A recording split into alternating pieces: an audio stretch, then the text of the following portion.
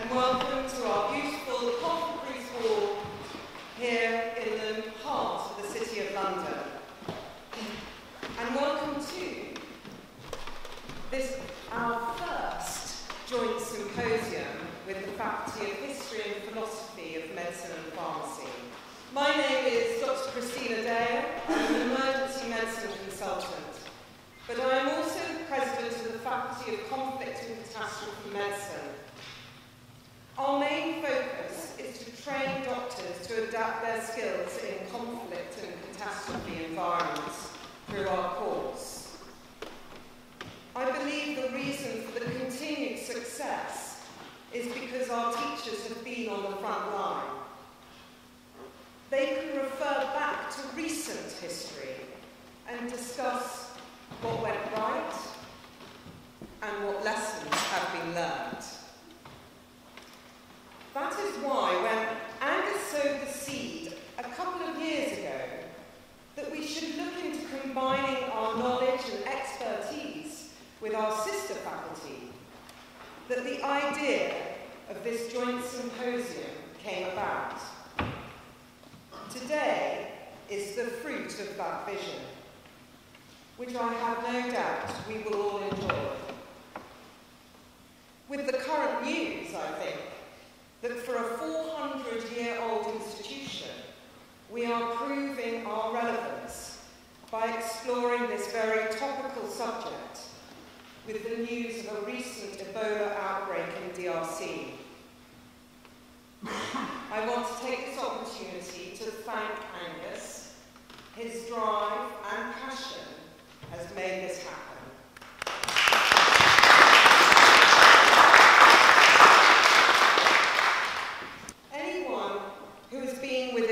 19 situation will know that sense of fear and uncertainty.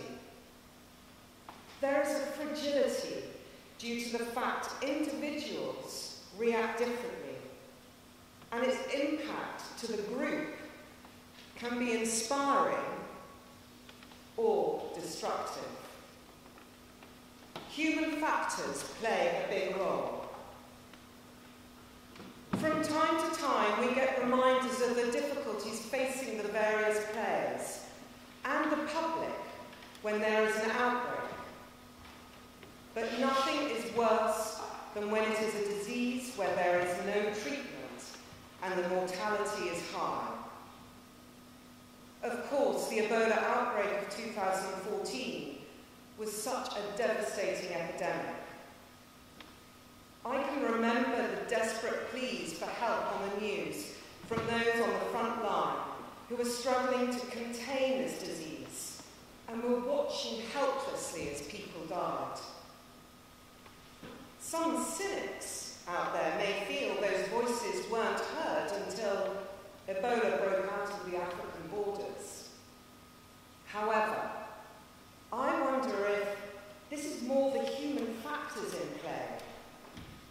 The admission that containment is needed, and for others to stop the free movement of people and to forego their cultural expression is a big step to make and can never be taken lightly.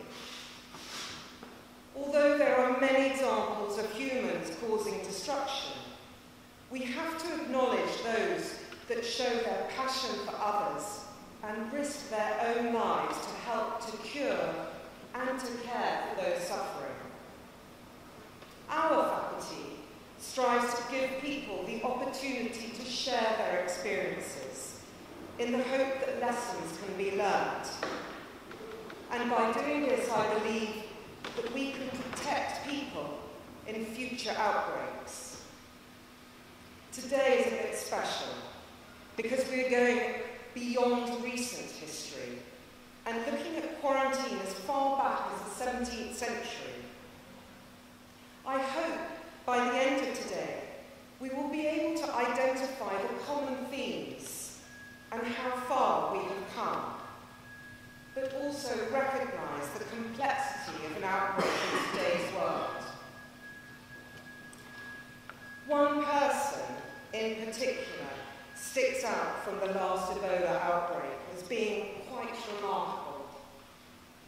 And that is of Dr. Ameyo Stella Adadevoh. We can actually pinpoint the actions of this one doctor who single-handedly prevented the spread of Ebola into Lagos, the most densely populated city in Africa. During the course of her Monday morning ward round, her team presented a patient who had collapsed at the airport on his way in from Liberia. He was due to go to a meeting of the Economic Community of West African States, which had, no doubt, representatives from all over Western Africa. She was told he had malaria. But this diagnosis did not satisfy her. Although she had never seen anyone with Ebola, and the patient denied being in contact with anyone who had the disease, she arranged for him to be tested and contained with the limited resources available to her. Despite no confirmed diagnosis, Dr. Adadevoh maintained her conviction whilst under continued pressure from Liberian government officials. And the patient who, and the patient who threatened to charge her with kidnapping and violation of human rights. Her conviction cost her her life, but saved the lives of countless others. As a doctor, I aspire to have her strength and resolve if ever faced with such a situation. And I'm sure many of you wish you had a bit of Dr. Adadevoh in you. So I would like to dedicate this day to her and the many other healthcare workers who have selflessly lost their lives caring for others in quarantine. Thank you.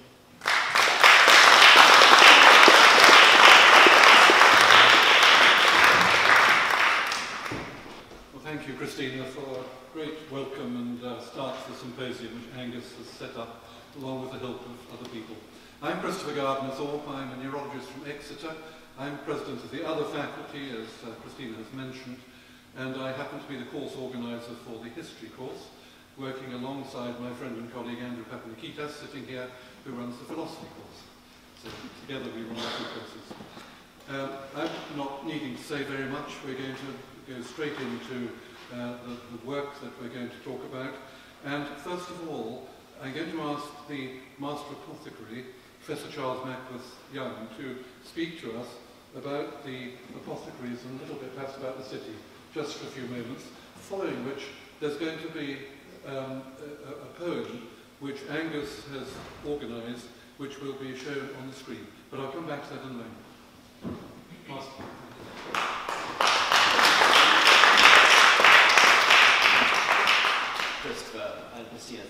Very much indeed, and welcome to everybody here. So I'm Charles Mackworth Young, I'm, I'm the Master of the Society this year. Um, and we are we are absolutely thrilled as a society to have these two faculties, and it's wonderful to have them working together for this uh, really very interesting and fascinating day. I, I, I, I think all of the talks are going to be really interesting. We are here in Apothecaries Hall, and the reason why we are here in this hall has something to do with quarantine. Um, you will all know, and you're going to be hearing from Air Vice Marshal Zunda about plague in the 17th century, and the um, Great Plague that afflicted London in 1666 was absolutely devastating. So devastating uh, that many, uh, many people and, and doctors knew that um, they, to uh, save their own lives, they needed to get out of London. And so the physicians fled. And actually, that's not really uh, a very good moment in physicians' history. Including the two physicians who ran Bart's Hospital just up the road. But the apothecaries did not. The apothecaries stayed and looked after the sick and actually did much of the work uh, that physicians would have done. Um, so giving medicines, prescribing medicine, holding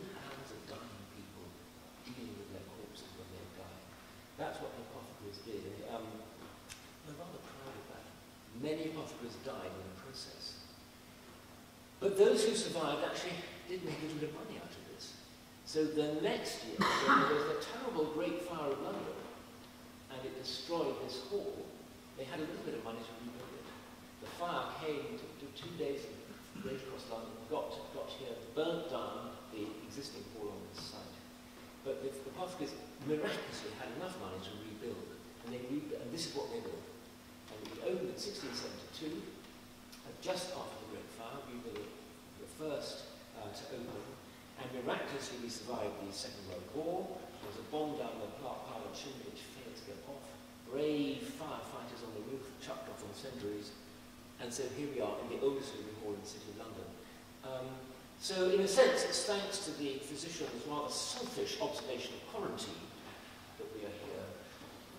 Um, the society itself is actually a little bit older. We were founded, as Christine said, 400 years ago. Um, uh, 1617. So we're still celebrating our 400th anniversary. And throughout those 400 years, we have um, done all the things that we uh, were set up to do. Regulation of trade, setting standards, education, charity, looking after our members. And this hall is used for all of those things. People take exams in here, probably some of you take exams in here. Um, we have dinners, we have meetings, uh, various other um, assemblies, um, including symposia such as this. Um, and it, it, it's a real, real pleasure to um, have you here um, and to sort of take part in something which is very city focused, but is also a national organisation um, and one that is very concerned with education um, and, and training. So um, I hope you enjoy today. I, Second Michelle, um, thank you all very much. Well, thank you very much, Master. Um, it'd be nice to have an opportunity to talk to you later, but I know you have to leave at some point during the symposium. So we move on now to a poem which is going to be shown, heard from the screen. Angus, I think, is going to do the IT, which would be good. Um, this is uh, a poem that um, is highly relevant. It relates to Ebola, and it's by Aki Lasisi. Now, uh, Aki Lasisi, I'm told, is very well known in Nigeria, that he's the editor of Nigeria's main newspaper, and that he's a composer, comedian, teacher, journalist, and award-winning poet. Uh, Angus found him uh, by, by uh, searching some, something that would be appropriate to the symposium, and has now got to know him. Uh, unfortunately, he can't be here today, but Angus, shall we watch the video?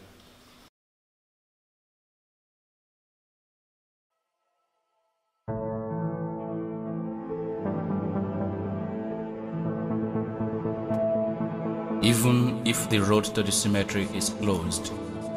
Dr. Stella Ameyo Adadevoh, even if the road to the cemetery is closed, we will bury our heroine in the earth of songs. What would Sawyer tell her if they happened to meet at the other end? When he was rushed in from the brinks of death, she spread her arms and heart to save his life, not knowing that in his clouded mind, an untouchable virus was feigning calm. Even if the road to the cemetery is closed, we shall bury our heroine in the earth of songs. We do not want to sing ill of the dead, but the confession bequeathed to the air is smelling death. So the sages are always right. When he said the death that will kill a hunter lives in the quiver, the one that kills the farmer is hiding in a ridge. No matter how smart a swimmer is, his death may be hiding in a swimming pool. But even if the road to the cemetery is closed, we shall bury our heroine in the earth of songs. In fulfillment of our Hippocratic oath, Our heroine had stemmed the tide of many deaths, healing husbands. She delivered their wives of bouncing joys. She had nurtured their children with gentle drugs. But this tricky night, the water is spilled and the girl is split. But even if the road to the cemetery is closed, we will bury our heroine in the hearth of songs. And what manner of a plague is this that kills the herbalist to spite the sick? Even in the days of small pox, we offered sacrifices to the dreaded god. But all of a sudden, a virus gets so bloated it snatches bush meat from our frozen mouths. For the first time in many moons, the world is scared of its own sweat. Friendly hands refuse to shake, loving hearts decline to hug. Even my neighboring brethren are serving communion from a Catholic distance. But even if the road to the cemetery is closed, uh, we must bury our heroine in the hearth of songs. Ebola warned us long enough, but we were fast asleep on our usual bed, so that when it finally came, it met our Solomon's bereft of sense. Ameyo. Humanity is built by your gallant death. Facebook mourns and Twitter sobs. We know your cause deserves a soulful kiss, but we are held at bay by the killer's scourge. Your casket should be decked with a million blooms, but we are forbidden from gathering for a national rite. But even if the road to the cemetery is closed, we shall bury our heroine in the earth of songs.